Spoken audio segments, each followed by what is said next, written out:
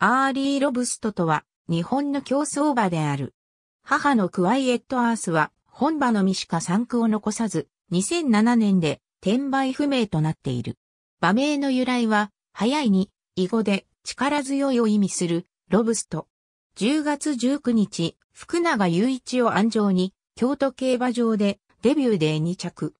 続く11月8日、未勝利戦も2着に敗れるも、11月30日の未勝利戦は一番人気に応えて初勝利を飾る。12月14日の阪神のエリカ賞は福永に代わって吉田豊に点乗りとなったが逃げ切っての勝利となった。初戦は1月18日の京成杯。安城は再び福永に戻った。2番人気に支持されたが直線抜け出して重賞初勝利となった。その後、3月8日の弥生賞に出走し3番人気に支持されたが、これまでの先行するスタイルから後方待機に転換し、6着に敗れる。皐月賞は先行したものの16着に惨敗。東京優春は主戦の福永が星雲ワンダーに騎乗するため、ダービー初騎乗となる三浦構成に乗り換わったが、15着から2秒近く、離された16着に終わった。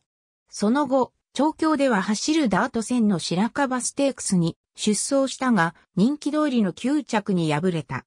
交流重賞の白山大賞典では3着に入着したものの、特別、ダートがうまいということはないし、あのメンバーで、あの成績では、と、ダート適性を見限られ、再び芝に戻り、スワンステークスに出走。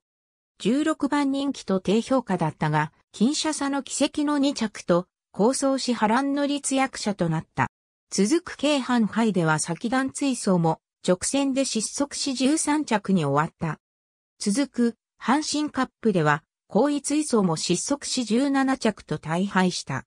1月5日の京都金杯から指導、先団でレースを進めたが直線で力尽きて8着に終わった。続く小倉大賞典でも同様の競馬で2戦続けての8着だった。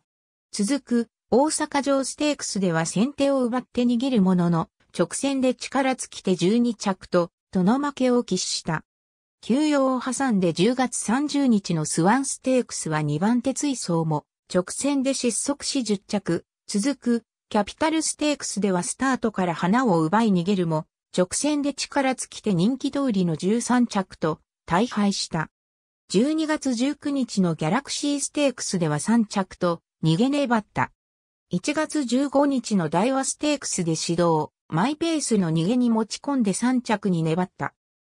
スバルステークスでは、コースタートを決め先頭に立つと、マイペースに持ち込んで逃げ切った。続く、翼賞では3着と、構想した。CBC 賞では先団でレースを進めたが直線で、力尽きて14着。プロキオンステークスでは2番手追走も、直線で失速し16着と大敗した。休養を挟んで11月27日の渦政ステークスに出走、コースタートを決めて先頭に立つと後方から足を伸ばしたファイナルスコアの追い込みをしのぎ逃げ切り勝ちを収めた。続くギャラクシーステークスでは2.3番手でレースを進めたが直線で失速し14着と大敗した。1月8日のジャニュアリーステークスで指導、コースタートを決めて先頭に立ち逃げたが5着。続くスバルステークスでも同様の競馬で8着に敗れた。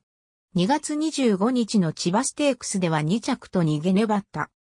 芝に戻り4月8日の春来ステークスではスタートから花を奪い逃げるも、直線で力尽き14着。4月29日のオアシスステークスは2番手追走も直線で失速し14着と大敗した。続く、ケヤキステークスはスタートから花を奪い逃げるも、直線で一杯になり10着、天保山ステークスでも同様の競馬で11着に終わった。1月20日に初の障害競争となる障害未勝利に出走したが、2周目、3コーナーで全身規制を欠いたため競争中止。自走は平地に戻り千葉ステークスで15着。2月28日付で JRA の競走馬登録を抹消され、船橋の川島正幸厩舎へ移籍した。移籍から2014年7月まで計14戦を走ったが一勝もできず、北海道競馬の田中敦厩舎へ移籍。ここで3戦を走り、2014年12月10日付で登録を抹消されている。ありがとうございます。